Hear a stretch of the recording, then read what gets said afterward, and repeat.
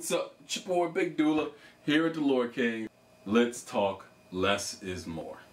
Okay, when when you go to design a game, when you go to design a process, when you go to design what you're trying to do, less is more. What do I mean by less is more? Of course, less is not more.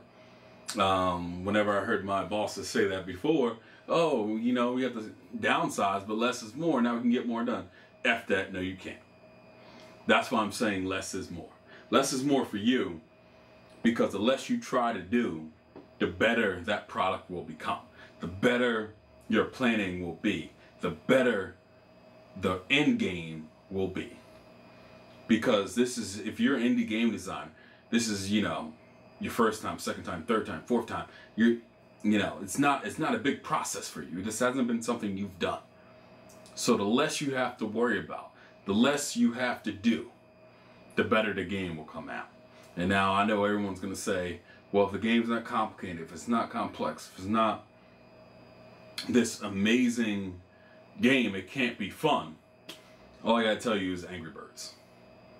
Now, is Angry Birds a complex game? No. This game has made billions of dollars. Billions of dollars. And I guarantee you, any college junior in programming could make that game. Could make it tomorrow. But what it was, it was fun. They took a concept and they made it as fun as it could be. It was a very, very, very simple concept. And they made it as fun as it could be, and they were rewarded for it. So if they try to do a lot of stuff in the first game, they try to do all these crazy maneuvers and all these crazy programs and all this all this other stuff, that game might not work. That game might not be what it is today or what it was yesterday. But they did it. They made it simple and they made it fun. Another example, Super Meatball. Made by two people. Super Meatball wasn't revolutionary from a programming perspective. Super Meatball wasn't this uh, uh, elaborate labyrinth of games and all this all the crazy stuff. No. No. They took one concept and they kept expanding on it every level. Hey, I'm gonna teach you how to do this on this level. On the second level, I'm gonna teach you how to do that. On the third level, I'm gonna teach you how to do that. Now on the fifth level, you gotta do them both. Ooh, crazy concepts, crazy. Oh my God, stop, it's crazy. No, you don't have to outthink everybody. You don't have to make everything complicated. Take something simple, make it fun, and then run with it. Less is more.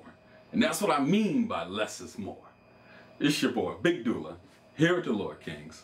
Watch, like, subscribe, comment, share all the videos. Please share the videos. I need to get out there. I'm trying to trying to build this empire. It's your boy, Big Dullah. Peace. What's up? This is your boy, Big Dullah, here at the Lore King, discussing today how to become an indie game designer, episode four. So in the in, in the previous weeks, we've really talked about how to structure um, the venture moving forward. How do you structure starting this project? And this is